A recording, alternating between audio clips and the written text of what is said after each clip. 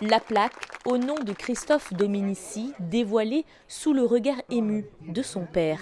C'est une grande émotion, bien sûr. J'habite à côté. Tous les jours, on vient là.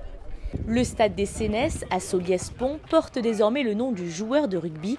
C'est la première édition du festival Christophe Dominici, un hommage à l'enfant du pays décédé en novembre 2020 à l'âge de 48 ans. Pour l'occasion, de nombreuses personnalités du rugby français étaient présentes. Très fier en étant euh, ami, euh, voilà, très fier pour, pour lui et sa famille. Il le mérite, c'était une star quand même. Christophe était le lien c'est celui qui reliait les hommes et les, femmes de bonne volonté. C'était quelqu'un qui, aurait, qui serait parti là maintenant avec les enfants, jouer, etc. Mais pas pour la caméra, parce que c'était juste son plaisir de participer, partager, etc. Donc il aurait été ravi de, de voir ce qui s'est passé pendant ces journées-là. Le festival lance la saison des petits rugbyman qui partagent tous le même rêve. Je voudrais ressembler à Christophe. C'est un gros marqueur, c'est un gros plaqueur.